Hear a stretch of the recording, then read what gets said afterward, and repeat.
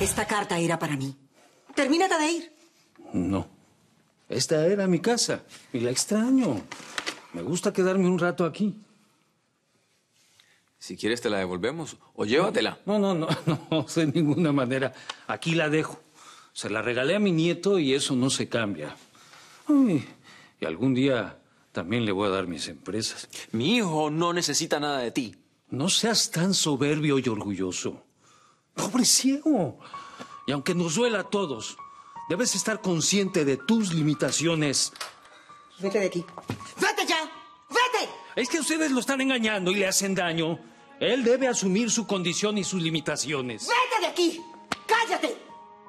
No voy a permitir que sigas ofendiendo a Willy. Muy bien. Me voy. Pero yo no dije nada más que la verdad. Ah, pues, despídanme de mi nieto, a quien le regalé la casa.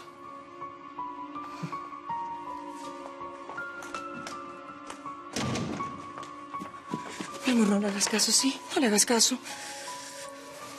¿Sabes qué es lo peor de todo, mamá? Que ese señor tiene razón. No termino de asumir la realidad de esto que me está pasando. Amor, cuando te operen vas a volver a ver. Ay, mamá. ¿Estamos seguros de eso?